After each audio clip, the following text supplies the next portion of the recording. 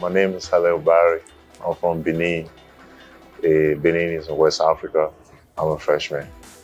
Uh, the first one is I speak five different languages. French is my first language, then English, and then three African languages. Second one is um, I play soccer growing up till like 13. And then third one is, I guess, I suck at 2K. Pizza topping. Cheese. Regular cheese. Right now, Kevin Durant. I would go with Batman. Brooklyn Nets. Ramadan is Muslim thing here. Senegal.